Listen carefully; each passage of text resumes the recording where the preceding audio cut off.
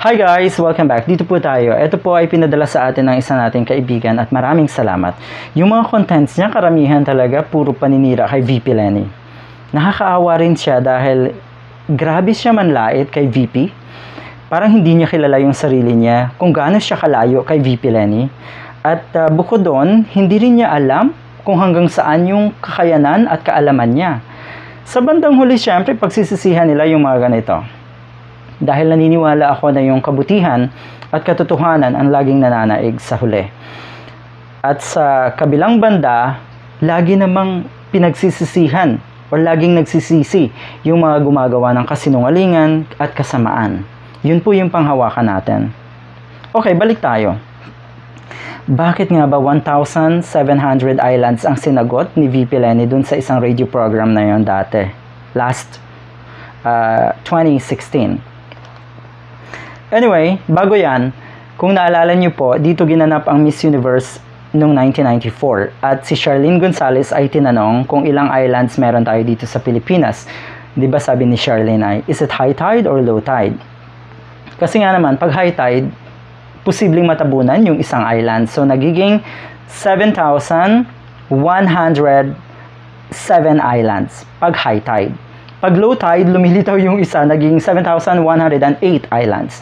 Yun po ay yung panahon na yon, estimated number of islands we have in the Philippines.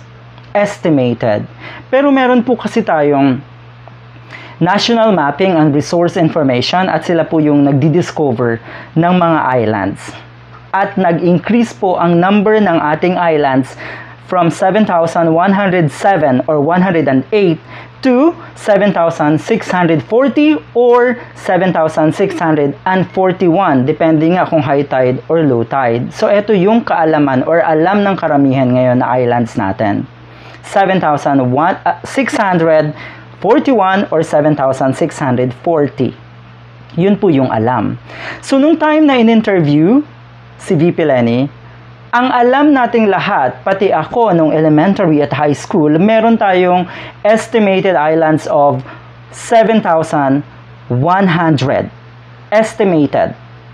108, 107, kung ano man, pero 7,100. Ano pong nangyari sa pagsagot ni VP Lenny? Nagkaroon po siya ng slip of the tongue. Ibig sabihin sa mga live interviews, sa mga ganitong fast talk, posible po talagang magkamali slip of the tongue, nagkabaliktad. Sa halip na 7,100 ang sabihin niya, nasabi niya 1,700. At yun po ay normal, hindi po kabubuhan yung ganon. Ang kabubuhan po ay yung pito lang ang nakuha out of 14 questions. Yun po ang hindi katalinuhan. Hindi man natin masasabing bobo talaga, pero yun mas mas matalino di hamak kung mas marami tayong nasagot na tama, di ba? Medyo kakaiba si kuya dahil paano daw naging lawyer pero ang daming hindi alam. Hindi po kabawasan sa isang uh, pagiging lawyer yung hindi nasagot ng tama dahil lang sa dahil sa slip of the tongue na tinatawag. Okay, hindi po 'yun kawalan kabawasan sa pagiging lawyer ni VP Lenny. Kakaiba naman po tayo, Mr. Vlogger, dahil on the spot, ni-research nyo po yung kung ilan talaga ang islands ngayong mga panahong to, dahil alam ko, on the spot ay hindi mo rin to masasagot. Dahil hindi mo nga alam na talagang nung mga panahong yon ay 7,100 lang ang estimated islands na meron tayo as recorded. Okay. Ito daw yung pinaka nakakatawang pagkakamali. Totoo, nakakatawa lang po talaga ang pagkakamaling yon dahil hindi naman po talaga kabubuhan yung ganitong pagkakamali ni VP Lenny. Kayo na rin po ang nagsabi na nakakatawang pagkakamali. Pero yung panlalait nyo po, hindi siya nakakatawa. Seryoso po na pagsisisihan nyo yan bandang huli. Mas magaling pa nga daw si Pacquiao. Sabi niya. Hindi ko naman sasabihin bobo si Pacquiao or mas mahina si Pacquiao kay VP Lenny, pero hindi talaga magandang tayo po ay manlait. Tayo po ay mga label ng bobo sa ibang tao, lalo't ang lalaitin mo ay si VP Lenny, eh ikaw po, saan po ba tayo nagmula? Ano po ba ang meron tayo? How, can I call you somebody? Or I should just call you a nobody? Ganun ang point eh, di ba?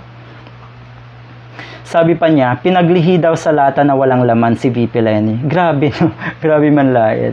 Take note, ito po ang lahat na ganito na panlalait niya ay babalik talaga sa kanya. Dahil nakikita niyo naman kung paano siya mag-vlog. Puro lang panlalait. Hindi maganda. At hindi po tumatagal naman yung mga ganito. That is a promise. At totoo po yan.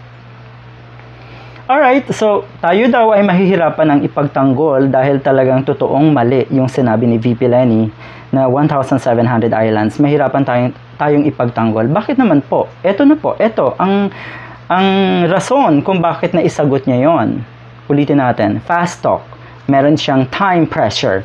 At higit sa lahat, slip of the tongue ang nangyari. Dahil nung time na yon, 7,100 islands ang estimated islands na meron tayo dito sa Pinas. Slip of the tongue. At walang problema doon, hindi po kabawasan sa talino yon. Pero sa inyo po, kabawasan po ng points sa langit ang manlait at mga alipusta at higit sa lahat, yung mga kasinungalingan po natin, napakalaking kabawasan ng points talaga yan sa langit. Have a good day. Merry Christmas sa ating lahat.